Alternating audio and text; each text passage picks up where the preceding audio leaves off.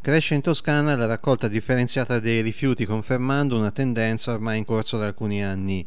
A livello regionale la quota raggiunta nel 2014 è stata del 48%, con un incremento di 2,4 punti percentuali rispetto all'anno precedente, un risultato che peraltro non è omogeneo per territori e province.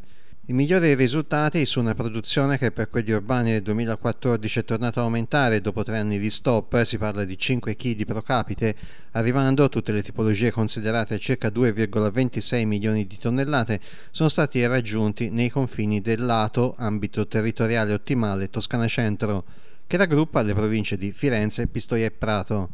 La raccolta differenziata nella media regionale è stata di 298 kg per abitante con Firenze che svetta, qui la media è stata di 306 kg e la provincia di Pistoia è arrivata a quota 247 kg di differenziata pro capite. Fanalini di coda nella classifica risultano Grosseto e Massa, ferme rispettivamente a 185 e 187 kg.